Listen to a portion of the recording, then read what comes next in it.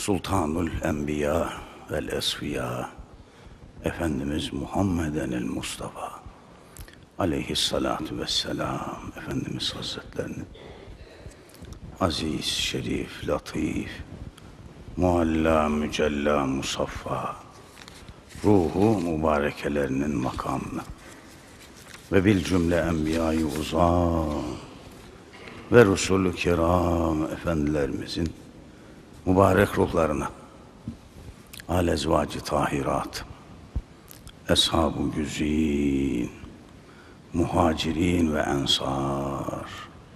Ve bilhassa huzuru devletlerinde bulunduğumuz ziyaretini eda ettiğimiz misafiri bulunduğumuz manevi sofrasında olduğumuz Eba Eyyub el Ensari Hazreti Halid İbni Zeyd radıyallahu anh zat-ı ilvahi Efendimiz Hazretlerinin mübarek ruhlarına silsile-i saadatımızın ve üstazım Süleyman Efendi Kaddesallahu Sirrehul Aziz Efendimizin ve bil cümle ulema-i kiram Fudala-i İzam Efendilerimizin camimizin eğimme, huteba müezzinin, kayyumin ve cemaatinden ahirette olanların ve siz uzaktan yakından gelen kardeşlerimizin ve ahiren vefat eden ihvan ve ehavatımızın ruhları için Allah'ımızın rızası için El Fatiha. Allahümme salli ala seyyidina. Bismillahirrahmanirrahim. Errahmanirrahim. Maliki yevmiddin. صراط الذين أنعمت عليهم غير المغضوب عليهم ولا الضالين. آمين. آمين يا معين أعوذ بالله من الشيطان الرجيم. بسم الله الرحمن الرحيم. رب أعوذ بك من همزات الشياطين. وأعوذ بك ربي أن يحضرون. Asallahu en yec'ale beynekum ve beynellezine adeytum minhum mevedde. Vallahu kadir. Vallahu gafurur rahim. Kale Musa ma ci'tum bihi sihru. İnnallâhe seyubutiluhu. İnnallâhe la yuslihu amelel müfsidin. Ve yuhikkullâhu'l hakka bi kelimâtihi ve lev kerihel müşrikûn. Bismillahirrahmanirrahim. İnnallâhe ve melâiketehu yusallûn alen nebi. Ya eyyühellezîne âmenû. Sallu aleyhi ve sellimu teslima. Sadakallahul azim. Sallu ala Resulina Muhammed. Allahümme salli ala Sallu ala tabibi kulubina Muhammed. Allahümme salli. Ala şefi'i zunubina Muhammed. Muhammedin ve ala ali seyyidina Muhammed. Ol menba'i bağ belagat olan deli ve gülü zari fesahat ve ol mahzeni fadlı saadet Muhammed Mustafa ra salavat. Allahümme salli ala seyyidina Muhammedin ve Adem'e ve Nuhin ve İbrahim'e ve Musa ve İsa ve ma beynehum minen nebiyyin salavatullahi ve selamu aleyhim ecmain. Euzu billahi mineşşeytanirracim. Bismillahirrahmanirrahim. Kuntum hayra ümmetin uhricet linnâsi te'murûne bil maruf ve tenhevne anil münker ve tu'minûne billah ولو آمن أهل الكتاب لكان خيرا لهم منهم المؤمنون وأكثرهم الفاسقون. بسم الله الرحمن الرحيم. ترى الظالمين مشفقين مما كسبوا وهو واقع بهم. والذين آمنوا وعملوا الصالحات في روضات الجنات. لهم ما يشاؤون عند ربهم. Zalike huvel fadlul kebir.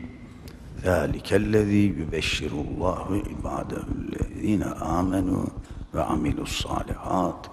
Kul la es'elküm aleyhi ecra illel meveddete fil kurba ve men yakterif haseneten nezid lehu fiha husna innallâhe gafurun şekûr. Sadakallâhu lazîm ve bellegena resuluhun nebiyyül kerim.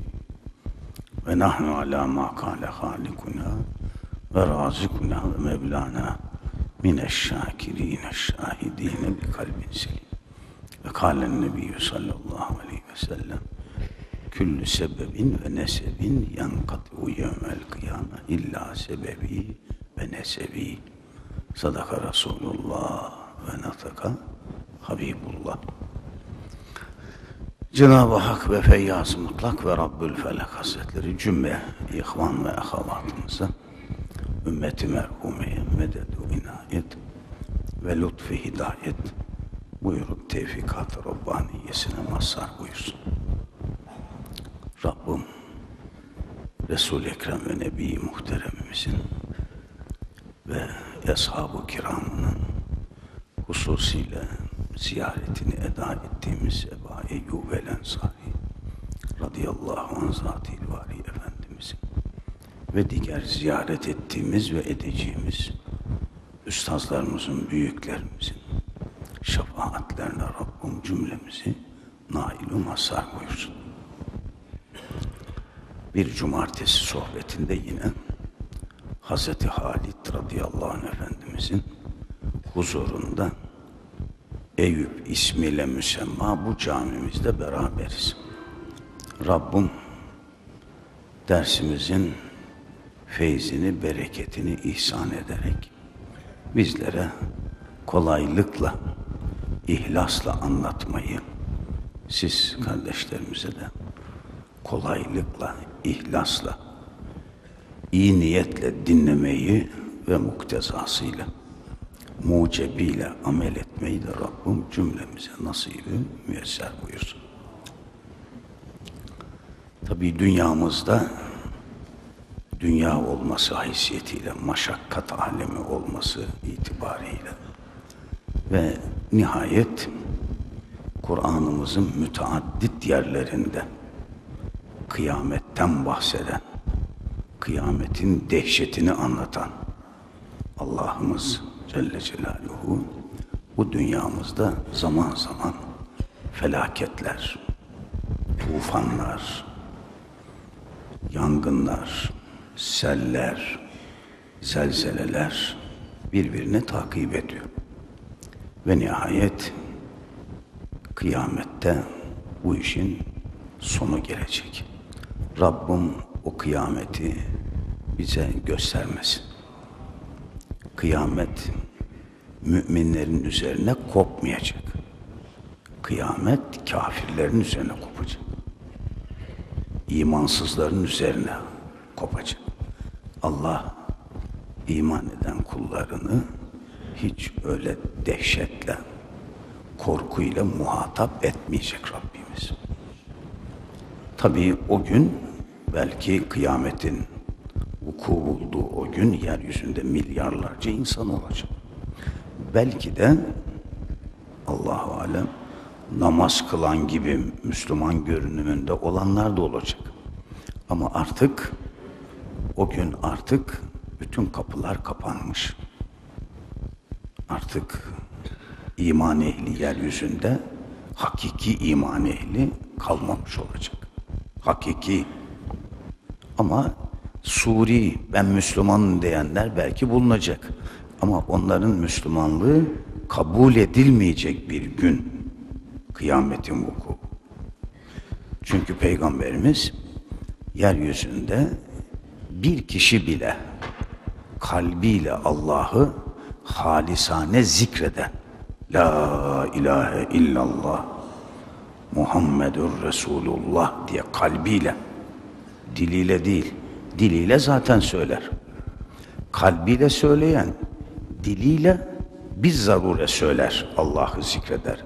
Ama diliyle zikreden kalbiyle zikretmiş olmaz. Arada fark var her kalbiyle Allah'ı zikreden muhakkak diliyle de zikreder. bedeniyle de zikreder. İçimizde gerek erkek gerek kız talebelerimiz var, hocalarımız var, anlarlar. Mantık okumuşlardır onlar. İlim erbabı, ilim okuyan evlatlarımız var. Allah muvaffak etsin. Namazdan çıkınca bize dua edin diyor kurslarımızdan.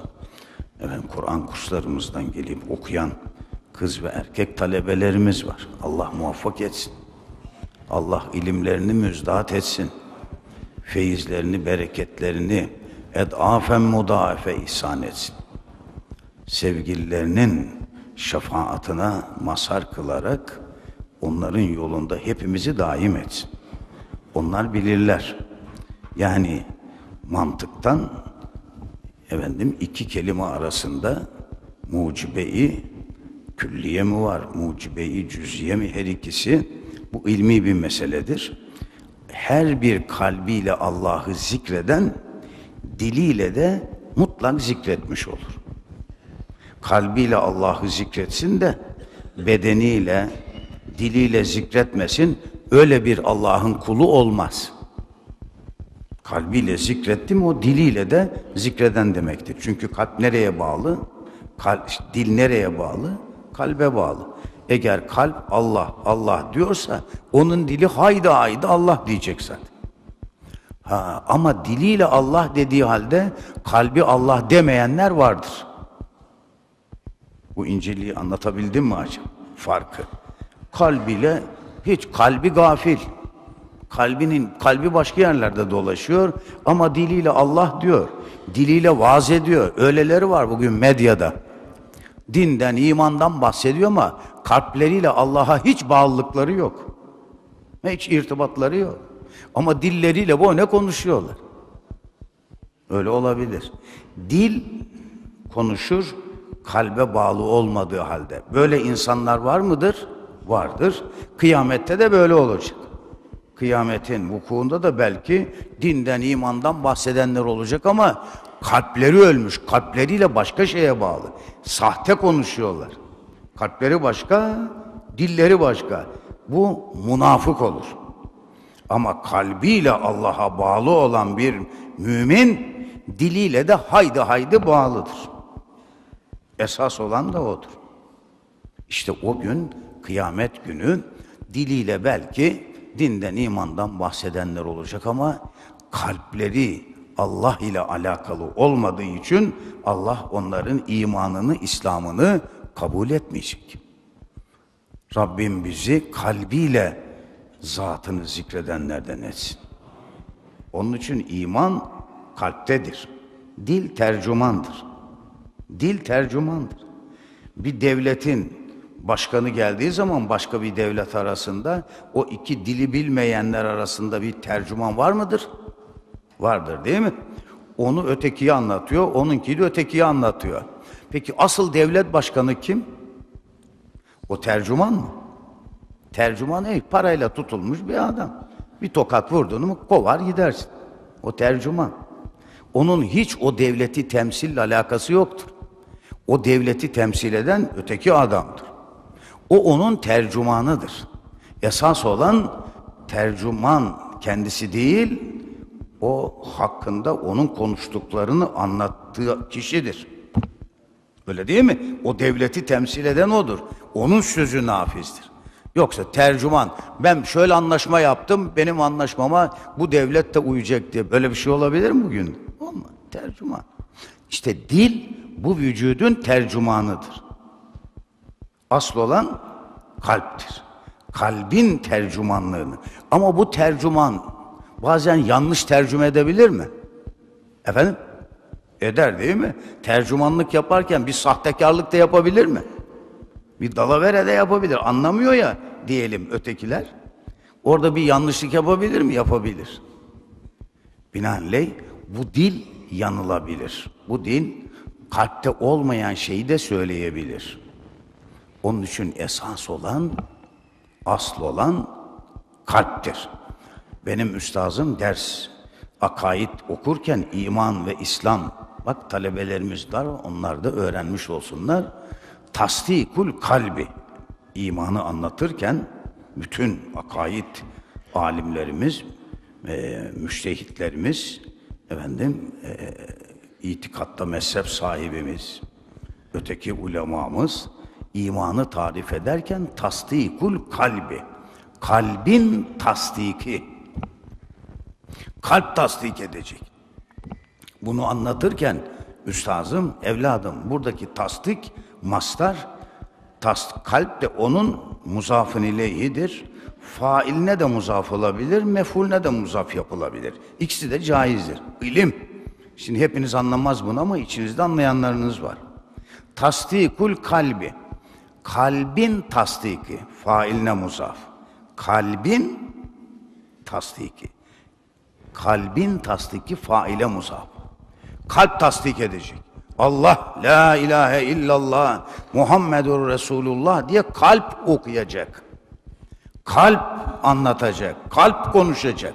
Asıl olan o. Vücudun sultanı o. Vücudun reisi o. O asıl olan o kalp. Allah'ımız da kalbe bakıyor. Dil o tercüman. Cenab-ı Hak kulun kalbine bakıyor. Bakalım o kalbi ne söylüyor? Dilini biliyor da söylediğini. Asıl olan Rabbimizin nazargahı bizim dilimiz değil. Neresi? Sol mememizin iki parmak altındaki latife-i kalp. Orada ne düşünüyor? Oraya feyiz geliyor mu, gelmiyor mu? Nuru akıtıyor mu, akıtmıyor mu? Orayı bağladı mı, bağlamadı mı? Oraya bakıyor Cenab-ı Hak. Kulunun gönlüne bakıyor. Binaenaleyh o kalbin konuşması diyor. Kalp konuşacak. Kalp eşhedü en la ilahe illallah ve eşhedü enne Muhammeden abduhu ve resulü. La ilahe illallah Muhammedur Resulullah. Allah, Allah, Allah, Allah diye kalp konuşacak. Kalp zikredecek. İmanın tarifi veya mefulüne muzaf olur. Var değil mi içinizde talebelerimiz? Kalbe tasdik ettirmek. O zaman niye muzaf oldu? Mefulüne. Kalbe, o da caiz. Kalbe okutmak. Kalbe okutacaksın. Kalbe zikrettireceksin. Dil. Herkes bu dil öyle de söyler, böyle de söyler. Ama kalp, kalbi konuşması esas olan konuşmadır buyurulmuştur. Binaenaleyh işte kıyamet kalpte Allah'ı zikreden bir kişi bile bulunsa yeryüzünde o kıyamet de diyelim 24 saat sonra kopacak. Allah 24 saat sonra Japonya'yı salladığı o Japonya'da dünden beri görüyorsunuz neler cereyan ediyor. Bütün dünyaya da Allah teknolojiyle gösteriyor ibret alsınlar diye. Öyle mi? İbret alsınlar diye oturduğunuz yerden bütün olayları takip ediyorsunuz. Bundan 150 yıl evvel olsaydı oradan bu hadiseyi duyunca kadar 5-6 ay geçerdi. Nereden duyacaktın? Birisi oradan gelecek de trenle bir, bir ayda falan gelecek de bizim orada böyle böyle bir şeyler oldu diyecek de öğreneceğiz. Ama şimdi öyle değil. Saniyesinde aynı anda bütün dünya, bütün dünyaya naklen Allah yayın yaptırıyor. Görsünler, öğrensinler, ibret alsınlar Allah'ın kudret ve azametin. Adam yine konuşuyor televizyonda. Yine doğa o kadar kuvvetli gidiyor. Hasbunallah ve nimet. Doğa diyor o kadar kuvvetli ki diyor. Kaç metre yüksekliğinde diyor sular geliyor. Önüne geleni götürüyor. Gemiler, evler, mevler ve siz de gördünüz. Şu anda devam ediyor. Karaya doğru hücum etmiş su. Çünkü yani nefes alıp veren gibi yerin de kendine göre nefesi var. Nefes alıp veriyor. Her şeyin kendine göre hayatiyeti var. Denizin dibini yarmış Allah, patlatmış, içeriye doğru nefesini almış, ondan sonra da dışarıya doğru ilahi emirle nefesini verince o koca okyanuslar, onu tarif etmenize imkan olmayan su kütleleri semaya doğru yükselmiş ve hücum etmiş karaya doğru şu anda devam ediyor. Doğa diyor ne kadar kuvvetli diyor bak bak bak. Doğa. Tabiat yani ne kadar kuvvetliymiş. Yine Allah'ın kudreti diyemiyor ya. Dilini Allah'ın verdiği o dili söyletemiyor. Allah dedirtemiyor. Allah'ın şu kudret ve azametine bak ey insanlar. Allah'ın gücünü, kuvvetini görün. Bu basit bir şey. Nuh tufanı yanında başım basın bat. Çok basit bir şey. Gazeteler yazmış bugün. Nuh tufanı. Yani büyük tufan. Kimisi küçük kıyamet. Evet. Allah söyletiyor. Tufan bu mem bu dünyada aynen o günde tufan olacağız. Suminay. Suma, ne diyorlar? Tüsumani. Ne diyorlar sonra? Yani suyun hücumü. Binaenaleyh Nuh tufanında da Hazreti Nuh tufanın geleceğini söylüyor. Denizlerin kabaracağını aynen bugünkü gibi ama öyle 10 metre 20 metre değil 50 metre 100 metre 1000 metre yüksekliğinde denizlerin kabaracağını yukarıdan yağmurlar aşağıdan suların fırlayacağını anlatıyor inanmayanlara. Ya gelin inanın ortalık böyle gün güneşlik gemisini yapıyor. Gelin inanın. Bırakın şu ineklere, öküzlere tapmayı. Öyle mi? İneklere, öküzlere, efendim işte Hindistan'da, oralarda böyle hala Allah'ı tanımıyor, peygamberi tanımıyor. Bırakın şu küfrü, tevhide gelin, hakka gelin diyor Nuh Aleyhisselam. Bu pisliği, bu rezilliği, bu ahlaksızlığı, isyanı bırakın. Bak Hazreti Allah diyor bir tsunami olacak. Denizler kabaracak, yer sularını fışkırtacak, semadan yağla, yağmurlar inecek. Bir anda yeryüzü en yüksek dağ 5 bin metre, 10 bin metre yüksekliğinde dağlar var değil mi dünyamızda? Ha, demek ki 10 kilometre yüksekliğinde deniz kabaracak. Ya 10 metre denizi kabartan Allah 100 metre kabartamaz mı? Efendim? Amenna saddak. 100 metre, 10 metre yükselten denizleri kadiri mutlak olan 200 metre yükseltemez mi? 10 met 10 şiddetinde mukavim binalar yapmışlar Japonlar. İşte her yerde tamam yapılsın güzel. Biz Müslümanlar da bunun olmamasını söylemiyoruz. Kuvvetli yapalım binalarımız. Çok sağlam yapalım. Ama her iki binayı sağlam yapalım. Hem insan binasını hem de içinde 5-10 gün kalacağımız binayı da sağlam yapalım. Ama sonsuza dek bizim yaşayacağımız bir evimiz var. Yani kendimiz var. Ve binlerce belki bin sene, on bin ne kadar kalacaksak Rabbimiz biliyor. Kabir evimiz var. O evi sağlam yapalım. O evleri sağlam yapalım. İman, ibadet ile sağlamlaştıralım. Binaenaleyh 10 şiddetindeki zelzeleye mukavim binalar yapmışlar değil mi Japonlar? 10 9 şiddetinde sallanıyor binalar yıkılmıyor.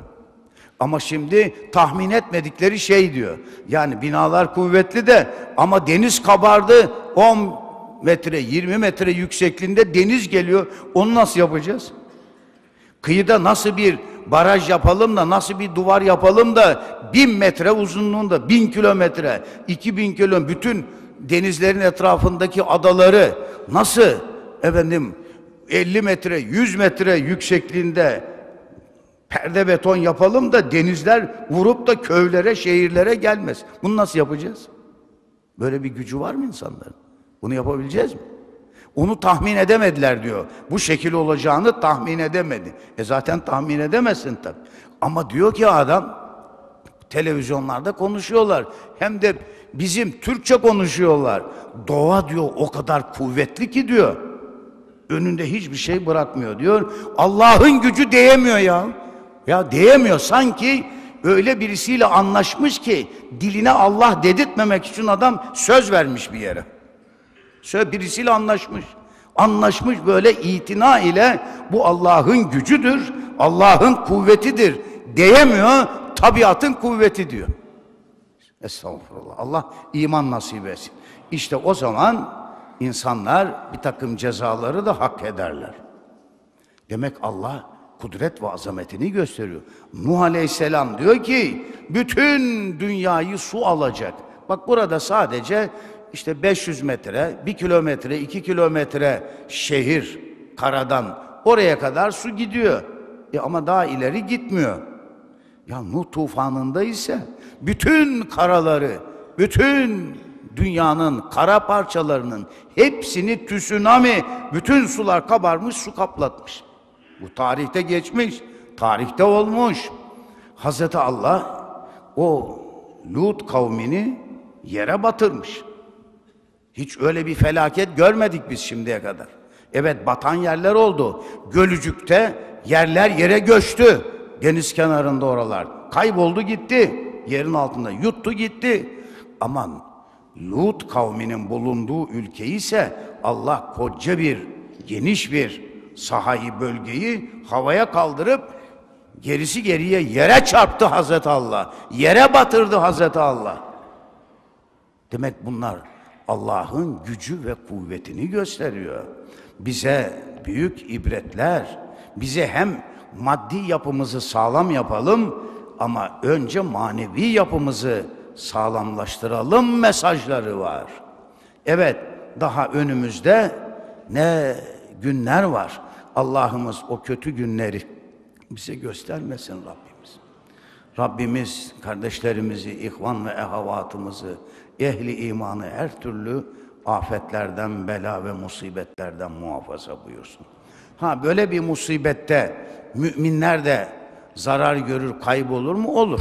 Onlar da onlar da şehit olur giderler.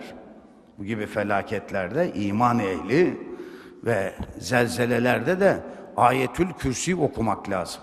Allahu la ilahe illa huvel hayyul kayyum. O ayeti muazzama, evet, ayetül kürsiyi okumak lazım. Nitekim sevgili peygamberimiz Hazreti Enes İbni Malik radıyallahu anh Efendimiz anlatıyor. Ee, ennen nebiyye sallallahu aleyhi ve sellem sa'ide Uhuden ve Ebu Bekir ve Ömer ve Osman ferecefe bihim fekal üslüs Uhud fe innema aleyk nebiyyün ve sıddîkun ve şehidan sadaka Resulullah revahul Buhari Hazreti Enes İbni Malik bir gün Resulullah Efendimiz Uhud dağına çıktılar. Yanında da Hazreti Ebu Bekir, Hazreti Ömer, Hazreti Osman-ı Zindüreyn de vardı. Beraberdiler. Tam Uhud'a geldiler. Efendimizin mübarek yaralandığı o dağın oralara çıktılar. O 70 küsür sahabinin şehit olduğu, şu anda Hazreti Hamza radıyallahu anh Efendimiz ve yanında diğer arkadaşlarının metfun bulunduğu Uhud Dağı. Oraya geldiler. Uhud Dağı üzerindeyken Efendimiz zelzele başladı. Malum haliniz orada Mekke, Medine'de zelzele olmaz. Efendim başladı bir zelzele. Uhud böyle zangır zangır sallanmaya başladı. Ve sevgili peygamberimiz diyor buyurdu ki Üslüt, üslüs, Uhud. Ya Uhud ayağını böyle tekrar. Ya Uhud biraz sakin ol bakayım. Uslu ol bakayım ya Uhud. Bak senin üzerinde ahır zaman peygamberi var. Senin üzerinde bir sıddık var. Senin üzerinde iki tane de şehit var. Sus bakayım, sakinleş bakayım dedi ve birden zelzele duruyordu diyor. Tabi bu hatırayı sizinle paylaştım. Cenab-ı Hak Uhud'da buluştursun bizi. İnşallah 17 Mayıs'ta gideceğiz Allah nasip ederse sizlerin hatimlerinizle kardeşlerimizin, talebelerimizin dualarıyla orada buluşmayı, o manevi havayı teneffüsü Rabbim nasip buyursun. Peygamberimiz Uhud'a konuşuyor. Üzerinde bir nebi var. Ben varım. İki, senin üzerinde sıddık var diyor. Kim o? Hazreti Ebu Bekir'in sıddık. Senin üzerinde benim en yakınım, yarı garım sıddık var. Ve senin üzerinde iki de şehit var diyor. İki şehit kimdi? Hazreti Ömer, Hazreti Osman. Onlara Ömer var, Osman var demiyordu da iki şehit var üzerinde diyordu. Ve onların da ileride şehit olacağına işaret ediyordu. Efendimiz mucizesini de gösteriyordu. Evet, demek ki efendiler biz böyle bir felaket, böyle bir imtihan anında salatu selam ve ayetül kürsileri okuyarak Cenab-ı Rabbil Alemine istiaze edeceğiz. Allahu Zülcelal vel Kemal Hazretlerine sığınacağız. Binaenaleyh kalbimizle Allahu Zülcelal'i zikrettikçe kalbiyle Allahu Zülcelal'i okuyanlar bu yeryüzünde bulundukça ehli rabıta, ehli zikir evlatlarımızı, kardeşlerimizi kalbi zikirde daim etsin Cenab-ı Hak. Bundan mahrum etmesin. Binaenaleyh bunlar bulundukça kıyamet kopmaz. Yani o büyük kıyamet olmaz. Ama tsunaminel olacaktır. Nitekim bazı büyüklerimiz de öyle buyuruyor. Nuh tufanı bir daha olmayacak kıyamete kadar. Ama 30 yılda bir Nuh tufanının bir benzeri tahakkuk edecek. 30 yılda bir bu olur diye buyuranlar da var. Binaenaleyh işte bu tufanlar, bu oluşlar, bu kıyametler bizi Allah'a daha yaklaştırmalıdır. Adam bunu anlatacağı yerde bu tabiat olaylarıdır diyor. Gayet normal diyor. Bunlar olur diyor. Gayet normal. Korkulacak, endişe edecek bir şey de yok diyor. Hasbunallah ve nimel vekil. Tabii ama Allah'ın kudretine bakın efendiler. Yaratanımızın kudretine nispetle bunlar hiçbir şey değil. Basit şeyler. Sinek, sinek uçması gibi. Basit bir şeylerdir. O halde biz o yaratana sığınmalı ve o yaratana bağlılığımız daha da artmalıdır. Daha artmalı, daha da imanımız kuvvetleşmelidir. Kur'an'ı efendim okumaya, okutmaya bütün gücümüzle devam etmeli. Kıyamet yarın da kopacak olsa bile siz ağaç dikin buyuruyor Peygamberimiz. Yani demek bizi gaflete öyle kıyamet kopacak öylese her şeyi bırakalım artık. Ticareti bırakalım, alışverişi bırakalım. Bunun caiz olmadığını ve dünya ile ilgilenmeyi terk etmenin doğru olmadığını hem Allah'ınıza bağlanmayı yükselteceksiniz, zikrinizi, fikrinizi, manevi hizmetlerinizi çoğaltacaksınız. Yarın kıyamet kopacağını bilseniz bile yine orayı yeşillendirmek için ağaç dikiniz buyuruyor Peygamberimiz. Yani bu ağaç bir evlat ağacı, bu ağaç bir dini ağaç, oraya bir dini hizmet manasını da ifade eder. Bakın yine Efendimiz, yine Enes İbni Malik radıyallahu anh Efendimiz rivayet buyuruyor bir hadis-i şeriflerinde. Efendimiz şöyle buyurmuşlar. Ela uhbirüküm anil ecvedil ecvet. Ey eshabım size cömerdin cömerdini anlatayım mı? Haber vereyim mi? Efendimiz bazen böyle sorarak eshabına sohbet ederdi. Size en cömert kimdir? Öyle bir cömert ki ondan daha cömert olan yok. Bunu öğrenmek ister misiniz? Eshaba soruyor. Tabii isteriz ya Resulallah. Şimdi siz de isterseniz değil mi? Tabii. Binaenaleyh dikkatini çekmek için eshabının ve ümmetinin bizlerin daha dikkatli dinlemeleri için, buna ehemmiyet vermeleri için böyle buyuruyor Fahri Kainatımız. Ve onun üzerine peki madem cevap vereyim. Allahu ecvedül ecvet. Allah cömertlerin cömertidir. Allah'ımızdır cömert olan. Ey ümmet hesabım. Allah'ımızdan daha cömert kim olabilir? Bakın bu kadar kafirlere rağmen yeryüzünde 7, 7 milyar insan var diyorlar. Bunun 5,5 milyarı kafir. İnanmıyor. Peygamberimize inanmıyor. Kur'an'a inanmıyor. Kimisi ineğe tapıyor, kimisi buzağa, kimisi yılana tapıyor, kimisi öküze tapıyor, kimisi ateşe tapıyor. Değil mi? Efendim? Yeryüzünde milyon. Kimisi kilisede Hazreti İsa Allah'ın oğludur diyor, puta tapıyor. Peygamberimizi kabul etmiyorlar. Müslüman değil, gayrimüslim. Yeryüzünde. Bütün bu 7 milyar insan, çok da zenginler var içlerinde. Dün gazetelerde yazıyordu dünyanın bilmem en ileri gelen trilyonerleri, en zenginleri bilmem hangi devletten bilmem kim Türkiye'den de varmış yani. Onlar da sayıyor. Dünyanın en zengin adamlarından dünyada. İyi tamam zengin olabilir. Efendim en zengin insanları olabilir. Peki dünyada en zengin insan mı? Allah katında muteber olan kalbi takva ile imanla rabıta ile Allah değen mi daha Allah katında zengin olan? Bu kadar zengin olanlar vardır. Cenab-ı Rabbil Alemin bu kadar kafirlere bu kadar imkanlar veriyor. En zengini dünyanın en gavuru, en inanmayanı. Ona Allah vermiş de vermiş. Allah'ımızın cömertliği değil mi bu? Efendim?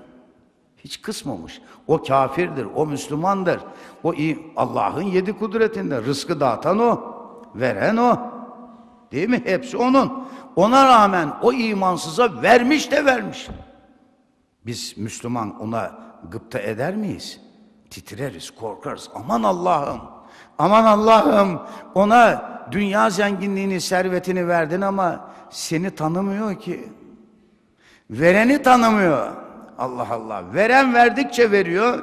O verene boyuna küfrediyor. O vereni tanımadığını ilan ediyor. O verene karşı bütün gücüyle savaş ediyor. Ona karşı.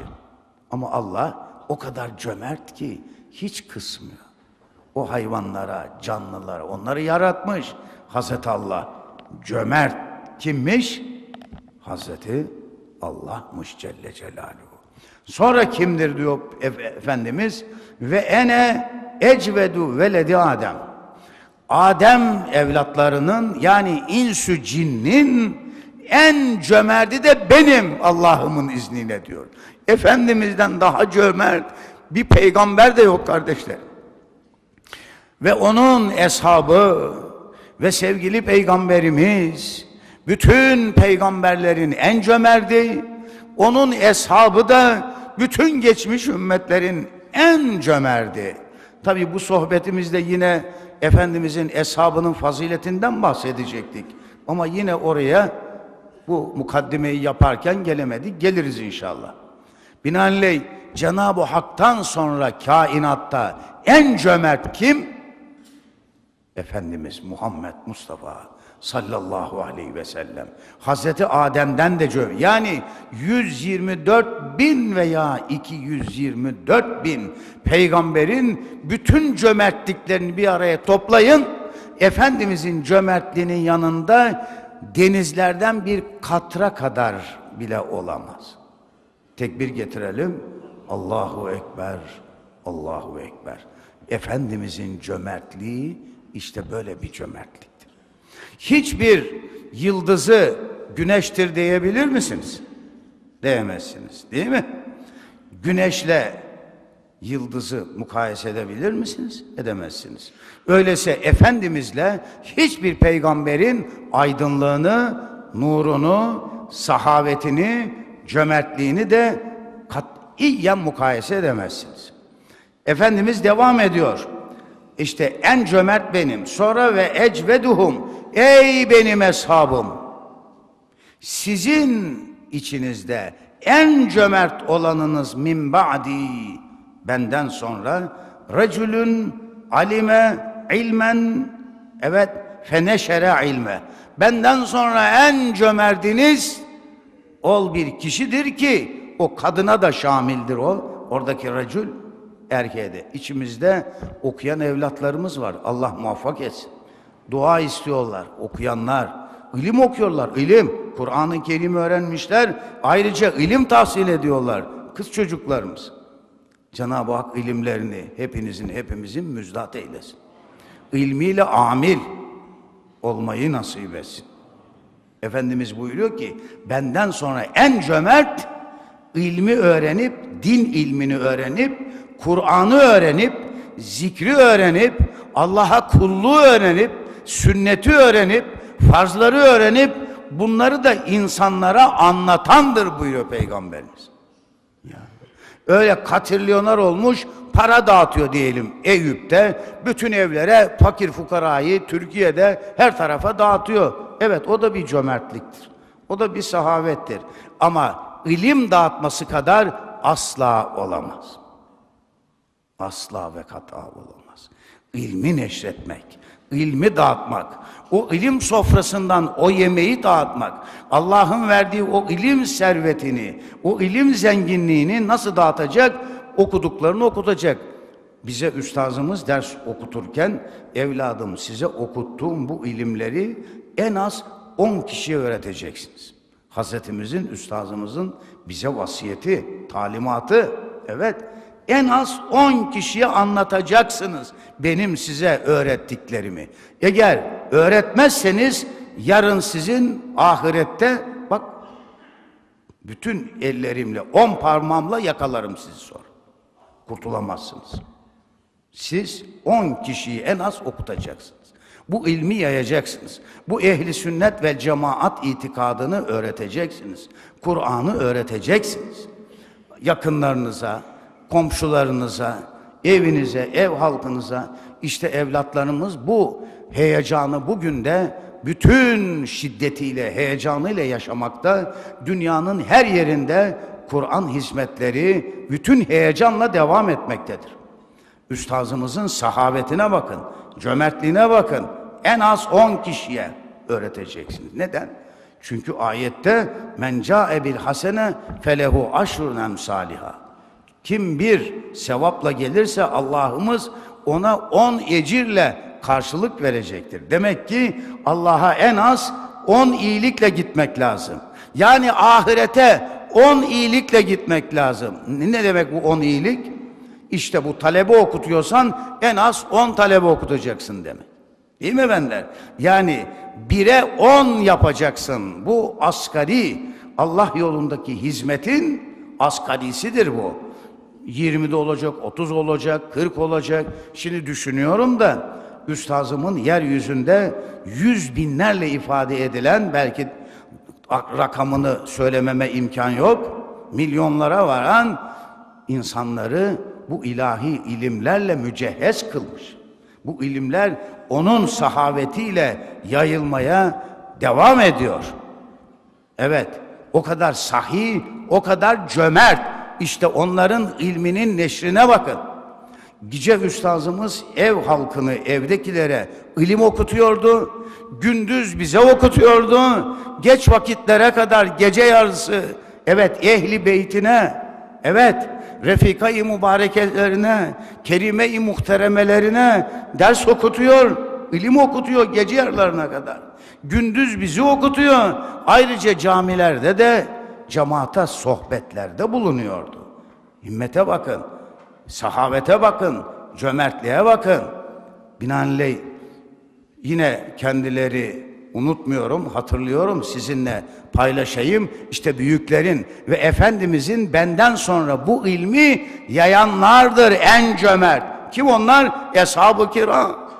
Eshab-ı kiram niye dünyanın her yerine dağılmışlar? Peygamberimizi anlatmak için dağılmışlar. Kur'an-ı Kerim'i öğretmek için dağıtmışlar.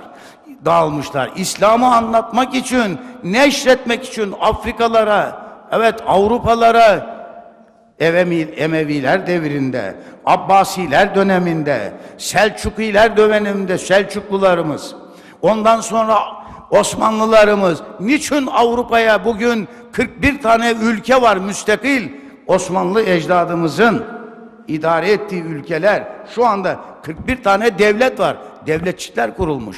Oralarda Osmanlılar niye gitmişler oraya? İlim götürmüşler, ilim, ilim. İslam'ı götürmek için. İslam ahlakını götürmek için. Şu neşre bakın, şu cömertliğe bakın. Benden sonra en cömert bu ilmi, bu dini, bu hak yolu sırat-ı müstakimi yayan buyuruyor Peygamberimiz. Efendim öyle olunca üstazlarımız, Efendimizin bütün peygamberler yıldızlarıdırlar. Efendimiz fazilet güneşi, Fe innehu şemsu fazlin hum kevakibuha. Efendimiz bir fazilet güneşi, bütün peygamberlerse o güneşten ziyalarını alan yıldızlardır, yıldızlar. Yıldızla güneş mukayese edilemez. O yıldızlar da yuzhirne envareha linnasi fi zulemi. Karanlıklarda, gecelerde insanlara nurlarını gösteriyorlar. Gece baktığımız zaman sema pırıl pırıl yıldızlarla süslenmiş. Değil mi? Ama asıl o yıldızların gösterdiği Efendimizin güneşidir. Bu Efendimizin bütün peygamberler yıldızlarıdır. Efendimiz'e gelinceye kadar Hazreti Adem'den Hazreti İsa'ya kadar bütün peygamberler Efendimiz'i anlatmışlar. Onun nurunu aksettirmişler. Onu haber vermişler. Biz onun müjdecisiyiz demişler. Bize inandığınız gibi ona da inanın ey eshabım demişler. Efendimizin azametini, onun ahır zaman nebisi olduğunu, isminin Ahmet olduğunu sallallahu aleyhi ve sellem bildirmişler, öğretmişler. Efendimizden sonra da Efendimizin eshabı insanlığın yıldızıdırlar. Evet, eshab-ı iken nücum bi eyyihim iktedeytüm ihtedeytüm. Benden sonra da benim hesabım, benim yeryüzünde hesabım yıldızlar gibidir. Hangisine uyarsanız o sizi cennete götürecektir. Çünkü eshab efendim 134 bin, 124 bin veya 224 bin diyoruz peygamberlerin adedi. Allahu alem. Ama 124 bin olduğu muhakkak eshab-ı kiramın. Öyleyse eshab-ı kiram da 124 bin. Bakın 124 bin peygamber adedine göre Efendimiz hayattayken 124 bin sahabisi olmuş. Bu ne büyük bir nimet, bu ne büyük bir azameti ilahi, lütfi ilahi ve kâne fadlullahi aleyke azima. Sure-i Nisa'da Cenab-ı Hak peygamberimize işte bu Allah'ın fazlı senin üzerine ne muazzam 113. ayet Nisa suresi. Ne büyük bir fazlı keremi Rabbinin. İşte bütün peygamberler hep Efendimiz'i göstermişler. Onu anlatmışlar. Efendimiz'den sonra da kıyamete kadar eshabı yıldızdırlar. Ayrıca Efendimiz'in varisleri olan gönül sultanları, İmam Rabbaniler, Ahmed-i Faruki Serendiler, evet Abdülkadir Geylaniler, o gönül sultanları, onlar da kıyamete kadar bu ümmetin yıldızlarıdırlar. Onlar hep Efendimizin aydınlığını insanlara gösterenlerdir. Öyle cömerttir bizim silsile-i sadatımız. Yani o efendiler, o gönül sultanları bizim kendileri için değil, hep ilim. Onlar irfan dağıtmışlar. O kadar sahih, o kadar cömert. Onlar kendilerini bu dine adamışlar. Onlar gecelerini, gündüzlerini evet din için tahsis etmişler. Benim üstazım yine gece yarılarına kadar ders okuturken tabi uyku da lazım. Uyku Allah'ın bir nimeti. Aziz Allah Celle Celaluhu. Uyku Allah'ın bir nimeti değil mi? Efendim nimeti. Ama üstazımız buyururdu ki hadi yavrum biraz gaflet edelim. Uyuyalım demezdi de biraz gaflet edelim. O büyükler uykuyu bile bizim için nimet olanı gaflet addederler. İşte büyüklerin şanı, onların azameti, onların himmeti, onların fazileti, onların sahaveti, onlar uykuları bile gaflet addederler. Gaflet addetmişlerdir. Neden? Hasenatül ebrar, seyyiatül mukarrabin sırrı vardır. İyilerin, evet, ebrarın hasenatı o büyükler için, o gönül sultanları için bir kusurdur, bir kabahat kabul ederler. Bir noksanlık kabul ederler. Bizim için nimet olan uykuyu onlar gaflet kabul etmişler. Öyle çalışmışlar. Bize bu ilmi öyle bırakmışlar. O zatta ben okumasaydım, onu bulmasaydım şimdi ben burada var mıydım? 1950 58 yılında beni İstanbul'da bu kürsülerde vaaz için üstazım tayin ediyordu. Ömer Nasuhi Efendi İstanbul müftüsü. Allah rahmet etsin. Peki onda biz okumasaydık, onda ahzı feyz etmeseydik, şimdi ben var mıydım burada? Ben yoktum. Onun yetiştirdiği diğerleri ve yetişenler, okuyanlar var mıydı? Bu ilim okutanlar olmasa, bu ilmi, Kur'an'ı öğretenler olmasa, yeryüzünde Kur'an okuyanlar olabilir miydi? Binaenaleyh işte benden sonra en cömert benim sünnetimi yayanlar, Kur'an-ı Kerim'i okuyup okutanlar buyurmuş fahri kainatımız. Evet bu duygularla gününüzü hayırlı ve mübarek olmasını niyaz ediyorum. Ben yine e, uzunca bir hadis-i şerif okuyacaktım ve Eshab-ı Kiram'ın fazailini, faziletlerini orada görecektik ama inşallah artık yine onu gelecek dersimize bırakıyoruz. Rabbim dersimizin feyzini, bereketini ihsan ederek dergahında kabul buyursun. Cenab-ı Hak muratlarınızı ihsan eylesin. Talebelerimize zihin açıklığı versin. Okuyan kız ve erkek talebelerimiz var.